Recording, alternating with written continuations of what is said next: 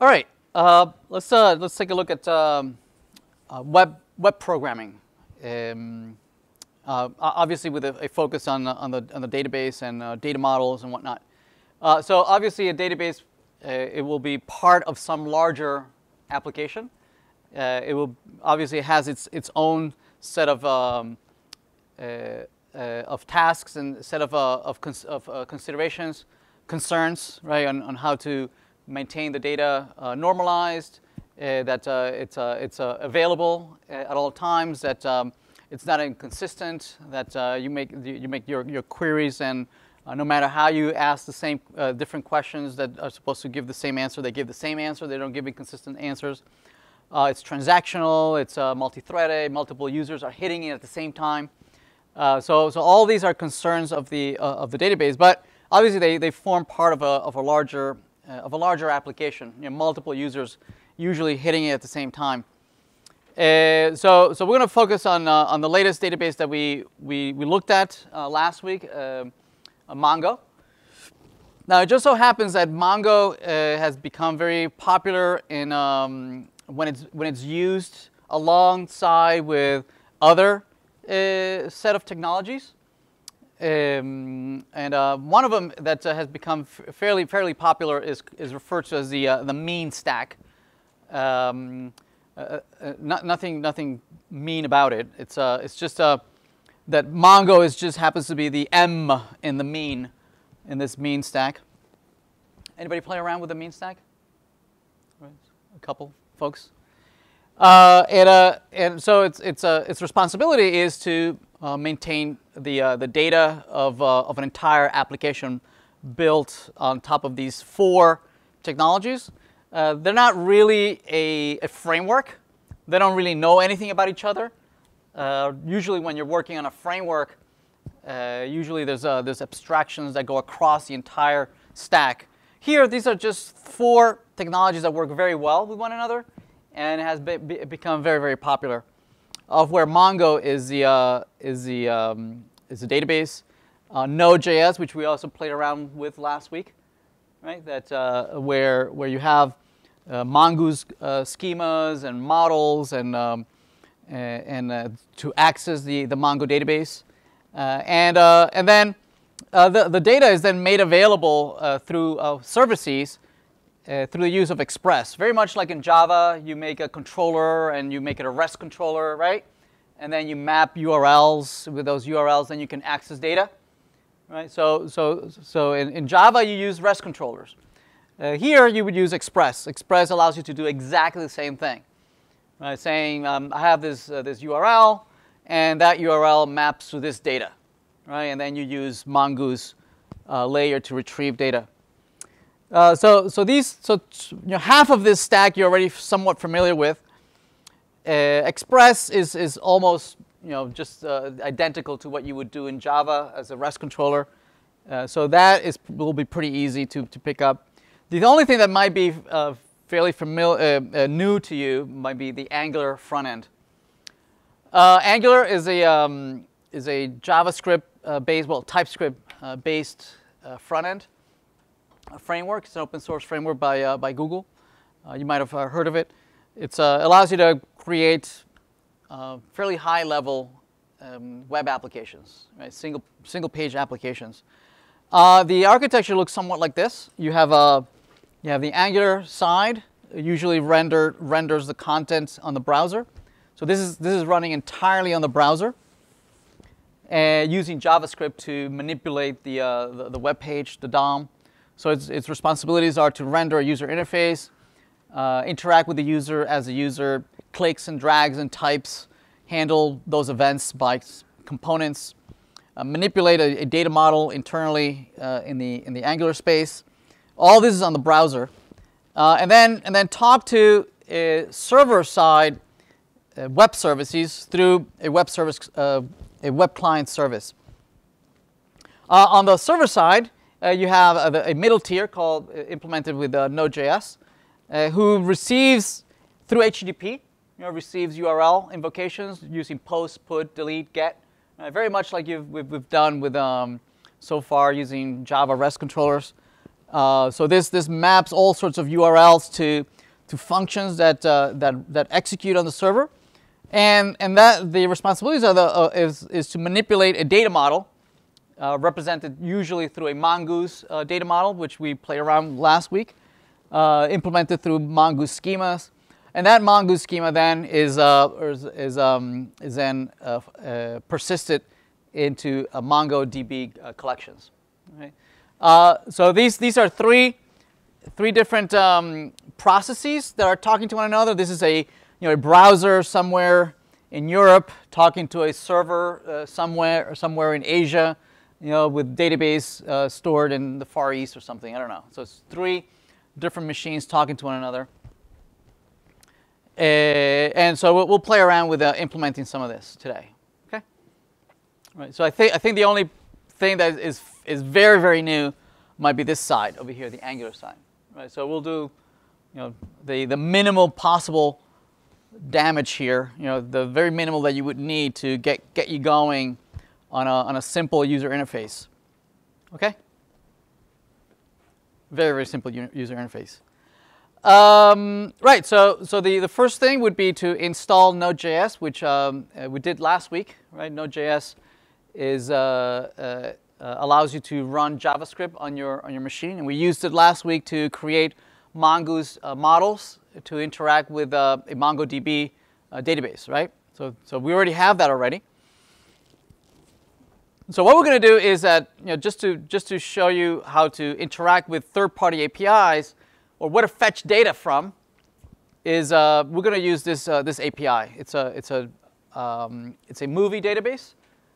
Um, folks seem to like movies, myself included. And uh, so this is a database that, uh, that uh, has you know, TV shows and, and, and movies that you can query it uh, by, by title, by director, by actors, by whatever. You can query it all sorts of things. So um, I've applied to the, uh, uh, usually these, all these um, APIs, you have to apply for them. so if you're planning on using one for your project, uh, sometimes those applications take time. Uh, sometimes they, are inst instantaneous, and whoever is the owner of the API will send you a key right away. Uh, sometimes it might take a couple of days.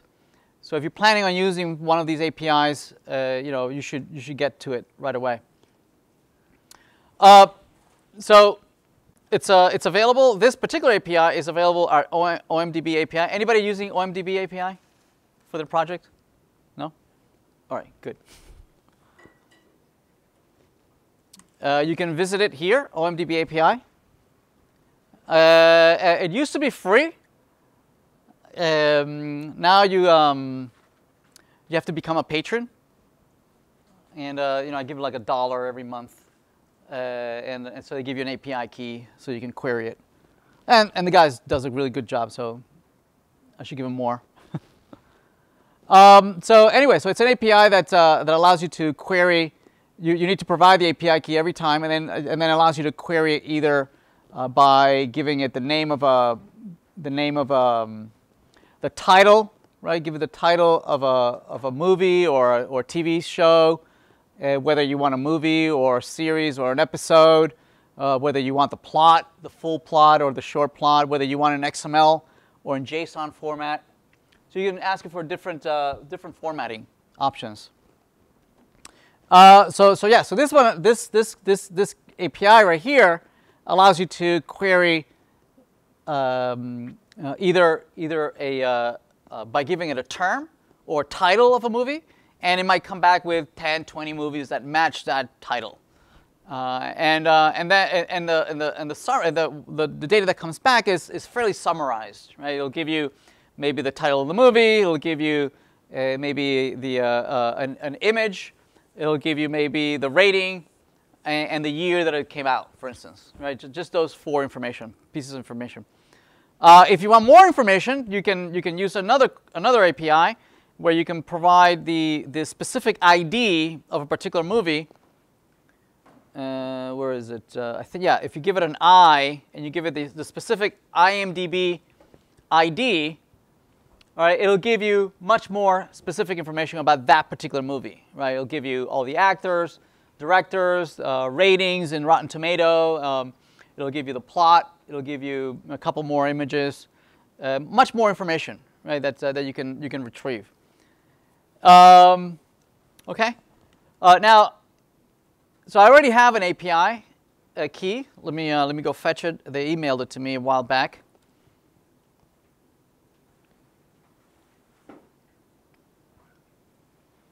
Uh, let's see, OMDB.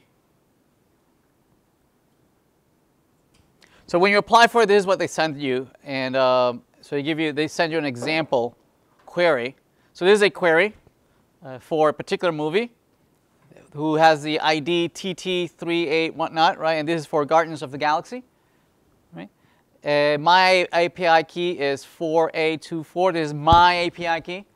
Do not use my API key, right? You can apply for your own. Okay, so we'll, we'll interact with this um, with this um, with this uh, API just to play around with today. Uh, so you can either give it a, uh, an index of, a, of, a, of an existing movie, or you can give it a title. You can say the title is maybe Batman. Batman. Right, so it comes up with, um, I'm sorry, no, uh, if I say, um, if I say search, a, a, general search term.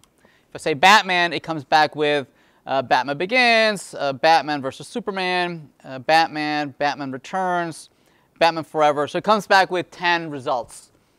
Okay, so one of them could be used for the, for the search page, right? I think that's one of the uh, uh, requirements in the, in the project, right? Where you have uh, some summary result of a list result, right? And then another page where you, uh, or another view that displays uh, details of a particular item, of a particular domain object, yes?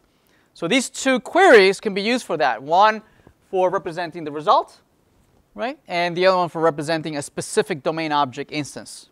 Yes? Right, this is, this is the you know, 10, 10 summarized results of 10 movies that match the criteria Batman, uh, whereas the other one is one specific object, right, that has a particular ID, right, that uh, matches that, that specific one single object with much more information, like the writer, the director, the genre, the rating, uh, ratings by uh, internet, uh, the IMDb, Rotten Tomatoes, Meta, Metacritic, the Metascore, and things like that, right?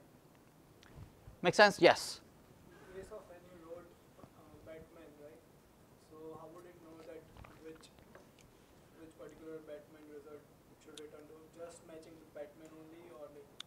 Uh, the, if it's a search term, it'll return several. It will return 10 that match Batman. It'll return the first one. Yeah. Yeah, so, so we'll, we'll use the term, search by term, so it'll return several, right? And we'll search the, we'll use the one where you know the particular ID, right? So we'll use this, this one right here, right? Where, where, where I have the ID, right? I have the ID, so I can go fetch that specific uh, movie because I know the unique identifier for it. just in case, when you give title, right, how does it figure out which one it should return? So we're not going to use the one with title. yeah, you can't specify which one. Yeah. Uh, the the other one, the um, uh, not IMDb, the the uh, the search. Where's the S? Yeah, this one. Uh, this one tell it gives you the first ten, uh, but you can ask for the next ten, the next ten, so you can paginate across any number. Also notice that the query says how many came back. There's 358 total movies that match your term, right? So you can ask for, it'll, by default, it'll, it'll send you the first 10, uh, but then you can ask for the next 10, next 10, you know, start at, and then give me 10 more. Okay? So you can paginate forwards and backwards. All right, so let's, let's get started. Let's see. So here's a, just an example. Uh, the, the slides don't have a specific key. It uh, reminds you to use your key if you want to follow along. Uh, so that's for Guardians of the Galaxy. Uh, this one, if um, for a search term of Batman, it returns several. It tells you how many how many, how many items, domain objects matched that search criteria. Uh, or if you fetch a particular Batman movie, if you know their ID. Right. Okay, so let's get started. We'll, uh, we'll first work on the front end since it's the, uh, the, the I think the part where you um, where uh, the, the least that uh, we, we have covered at all uh, in this class, and it's obviously not the, not the focus of the course at all. But you, you, I think you'll need some kind of user interface, right? And I think this would be the easiest, the easiest way to get into this, right? And you can certainly you can use any of the source code that we work on today uh, for your own purposes. You can reuse it uh, to you know change it or modify or for your for your own project.